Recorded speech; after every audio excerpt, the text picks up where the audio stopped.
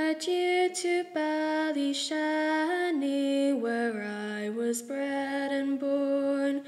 Ere where I may, I'll think of you as sure as night and morn. The kindly spot, the friendly town where everyone is known. And not a face in all that place but partly seems my own. There's not a house or window, there's not a tree or hill, but east or west and foreign lands I recollect them still. I leave my warm heart with you, though my back I'm forced to turn. Adieu to Ballyshanny and the winding banks of Erne. You're very, very welcome to Ballyshannon, Ireland's oldest town, and we're delighted that you can join us for our Heritage Week 2021 virtual walking tour. My name is Barry, and I'm a founder member of the Ballyshannon Regeneration Group. And Olive and I would like to take you uh, on a, a, little journey and share with you uh, some of the wealth of heritage and stories of one particular part of Ballyshannon. Today, we're going to focus on the Mall area and the reason for this is that we got really good news recently, and thanks to the Heritage Council and Donegal County Council in partnership with the Ballyshannon Regeneration Group, we've been successful in obtaining funding under the Historic Towns Initiative 2021. We are working with property owners on the Mall who who will part fund this initiative and the grant will allow for the protection and conservation of some of our rich built heritage. Um, you will see significant improvements in the coming months. Uh, so now Olive and I will take you on a saunter down the Mall from the town centre to the Mall Quay and we'll see what we discover along the way, Olive. Ah, indeed, Barry. Ballyshannon, or as my father always called it, Ballyshanny, is really a very beautiful town and the Mall, one of its nicest areas. Although it was known in the past as Fish Lane and in 1800 as Park Lane, because the Mall was a popular name for all fashionable walking routes in the, the 18th century. But the Mall here in Ballyshannon was once the bustling commercial centre of the street of the town. And look at here we have McIntyre's Saloon Bar. Uh, this is a really important building as it retains all its early form and architectural features. And look at you can see there the lovely wavy original glass. And we know that the poet William Allingham's father, uncles, and aunts were all born here. And in 1812, his grandfather left this building to his eldest son, Edward. So, as we move down here, we'll see what was White's supermarket on the right hand side. And um, there's a man down here, Michael McGlone. We're going to call into Michael and ask him because he's a long time resident on the Mall. We'll talk to him about these buildings across from his house. Oh, well, you're, you're, always welcome we're, here. We're, we're, getting a few stories together about the about the Mall and, uh, right. and the, the, past. You know, but you've been living a good while in the Mall, haven't you? Uh, we're here since uh, 1964. Right. We came to this house here. Yeah, yeah. Yeah. That's not today it's, or yesterday. It's not indeed. There's big changes on the Mall yeah. since we came, of course. Of course there is. Yeah. Our family have grown up and they're gone away, and we're. Yeah. It was a lovely place to live and very good neighbours, and we're. Yeah. I was just uh, talking to Olive about how, how busy it used to be, and it was a very thriving place with the port and the shops and all. But just, will you tell us a wee bit about across the street from you here? You know, the, the buildings that are over over here. Uh, well, that was White's, of course, across the street, right from there that was Miss Cannon's there, where Gallers is now. There was a wee shop there too. Yeah. She sold paraffin oil and stuff like that, you know. Right. But White's was a big establishment. It was right up to the corner. Supermarket. Not in my days, no. No, in, in the later years it made a supermarket. When I worked in it, it was a counter service. Okay. And uh, there's a lot of changes since. It was all one unit from right up to the green building there. Yeah. Now that was a, a store. That was called the meal store. Yeah. And upstairs, then, when later, when James got into turkeys, he kept the turkeys upstairs. up in that building there. There was a big door. You can see the track of it in the, between the two windows yes. Yeah, and it's, it's, it's blocked up. It's blocked up, but the, that was where the turkeys were reared in the beginning. Yeah, and that was James White. That was James White. aye. Yes. James White was a Yeah. great uh, an entrepreneur. Uh, entrepreneur. he was a famous And great man. th- these turkeys were live turkeys. Of course they were live turkeys. live turkeys, surely. What what about the health and safety? Oh, Oh, that's a great story, and it's great to have somebody who remembers all of that, Barry. Mm. And look at here, we've this lovely terrace of three houses, and we know that the Allingham family moved between McIntyre's and these houses during their lifetime. And the, the poet William was born here in 1824. Well, as well as William Allingham growing up in this house, there was a little cat reared in this house too. And this little kitten was a stowaway on a ship from Norway.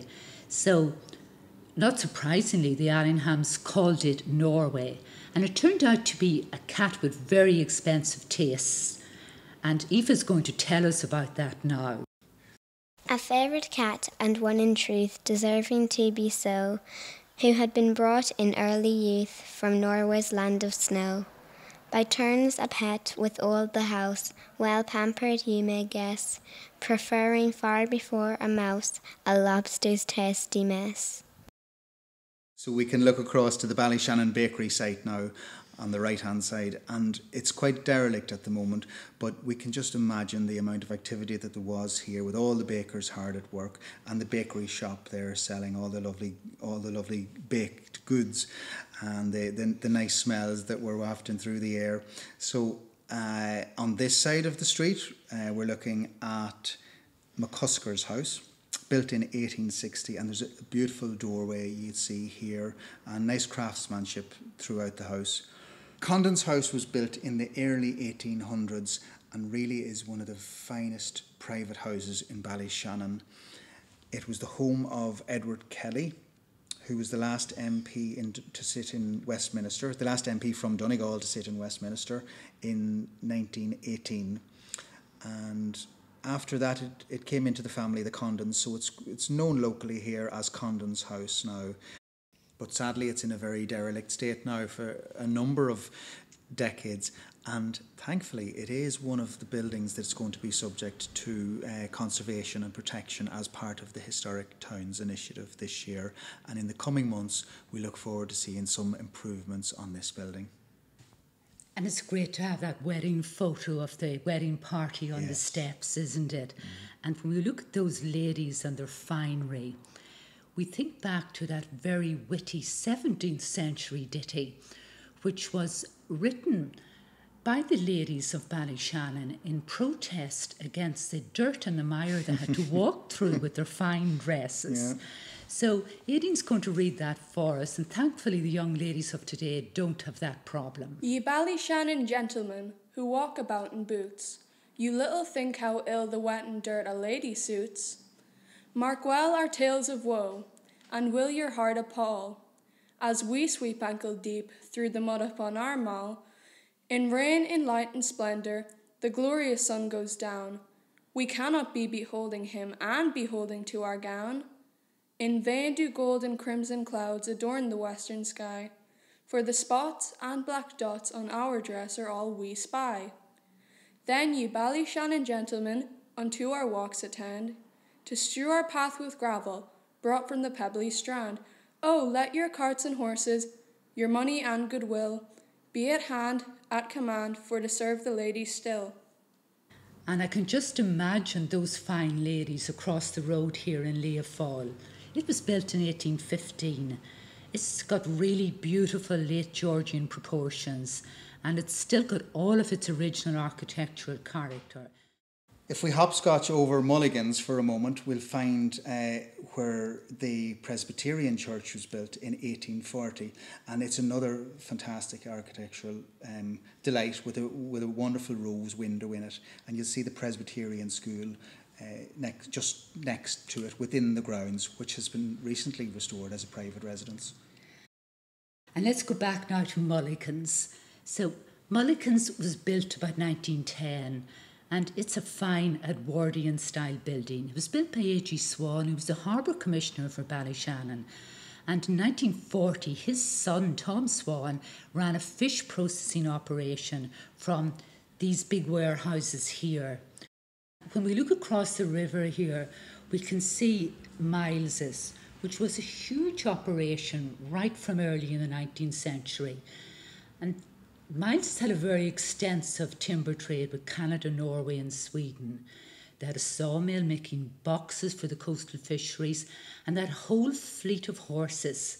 Uh, all that, but the, the, ladies had to step through, mm-hmm. drawing goods and fish that had been iced in the ice house to Derry for onward transportation. And of course, as well as Miles's, the other very important family were the Jennings family. They came to Ballyshannon in the early 17th century and they were the principal family engaged in the export of iron. So the iron ore was transported to the Mall Quay here from Gorras and Petty, Gustranorler and the Leitrim Mountains. And the, apparently the Jennings family grew really wealthy. And what Anthony Begley tells us that is that in the 18th century, Francis Jennings went over to Sweden, where he became even more wealthy. So, the iron industry in Ballyshannon in the 17th century played a major role in the development of the wealth of the Swedish economy in the 18th century. Wow. We're really lucky that we have the diaries of William Allingham, who brings both his home and life here in the Mall in the early part of the 20th century completely to life.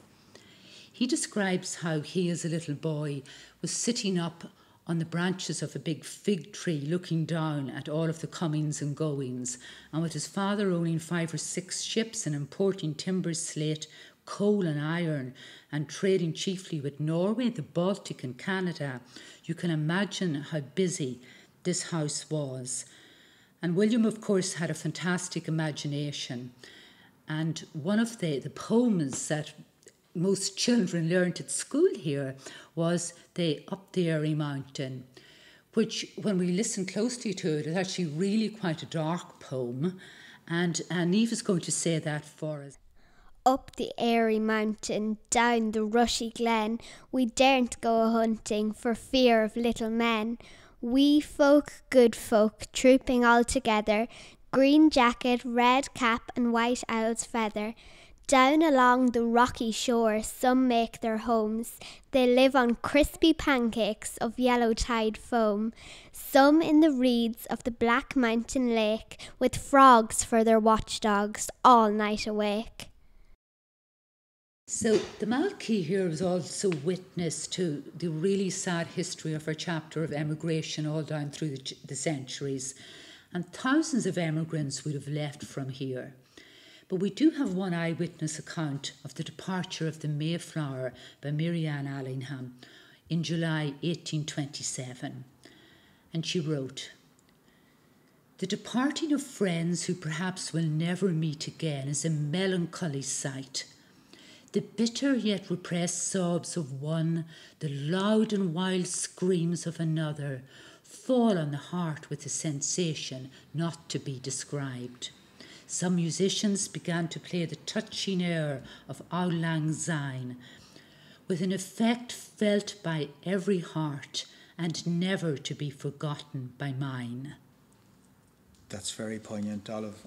And I suppose 20 years later, we come to famine times, and there was a story I heard Anthony Begley mention of famine piracy just uh, along the estuary here when a, a, boat was, was boarded on Christmas Eve in 1846 by some local people who were starving. And the thing was that during the famine, when people starved in this area, there was a lot of food and salmon, particularly, shipped out of the Mall Quay here, which was really terrible. But on Christmas Eve in 1846, uh, local people boarded a schooner that was bound for Liverpool and they took uh, a large quantity of bacon and lard off, uh, off here. And, you know, sadly, these people were, were prosecuted for their crime after this. And you think of how hard it must have been at the time for, for those poor people living uh, on the land at the time. One of the best landmarks of Ballyshannon is this Inis Saimer Island we yeah. see out here. It was also known as Fish Island or Dog Island. And of course, the myth is that a Med- Mediterranean chief named Partholon landed here with his followers 5,000 years ago. And do you know that legend as how it got its name, Barry? Uh, yes, I heard about that legend, all right, Olive. Um, Partholon, I, I, believe, killed their favourite wolfhound, Samer, uh, one day when he came back hearing about his wife's infidelity. So. Well, that's a story anyway. Um, we do know historical records that the island was definitely used as a stronghold by Irish chieftains, including the O'Donnells. And much later, then, in the 12th and 13th century, Cistercian monks actually lived on it. And you see that house you can see now, that was only constructed in the mid 1800s by the Erne Fishing Company because it was part of that whole lucrative Erne salmon and eel fisheries industry that we talked about earlier.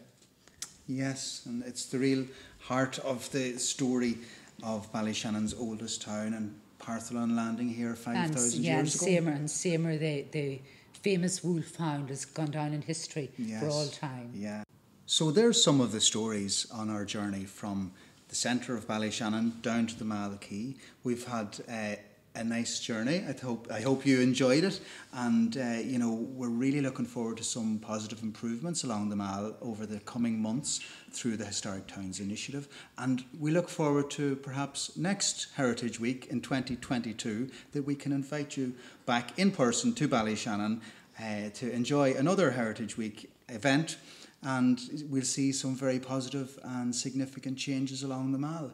So thank you very much for listening in. Olive, thanks very much. I enjoyed it. Did you have a good and, time? And indeed, thank you all for, for watching and I hope you have enjoyed it. No more unpleasant evenings will saunter down the mall when the trout is rising to the fly, the salmon to the fall. The boat comes straining creeps. Cast off, cast off, she feels the oars, and to her berth she sweeps.